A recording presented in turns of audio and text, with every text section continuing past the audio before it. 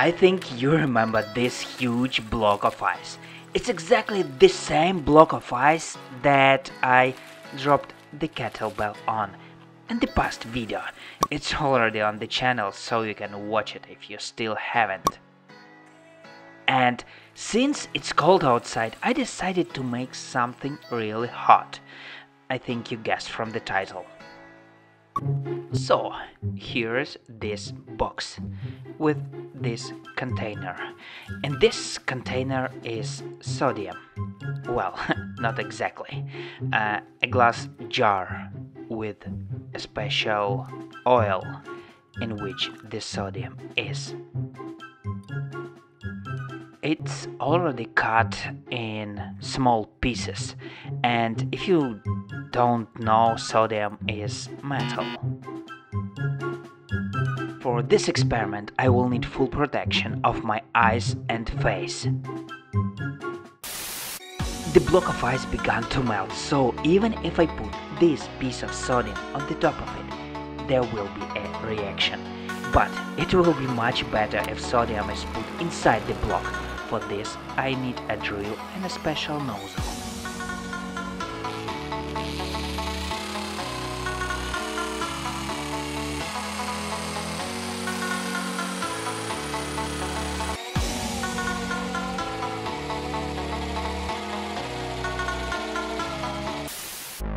Oh man, it was harder than we expected. But now we can start the experiment.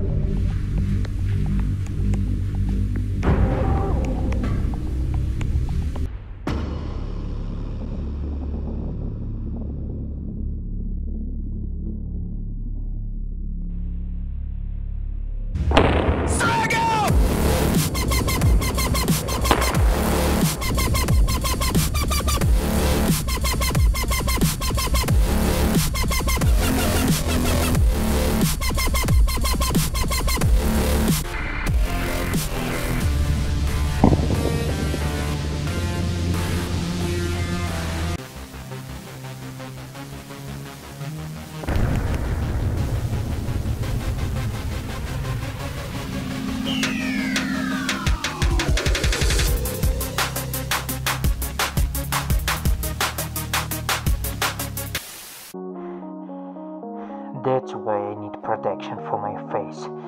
It's hard to breathe now. Need to wait some time. Oh man, just look at this. Looks so beautiful. And now just look at this ceiling.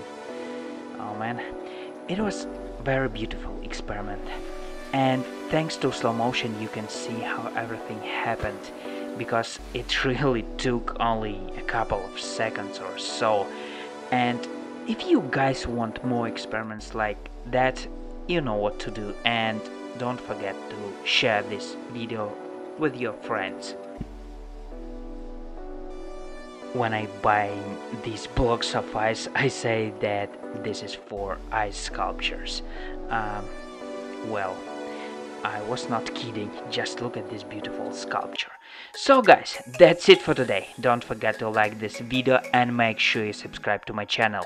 Leave your comments below and take care.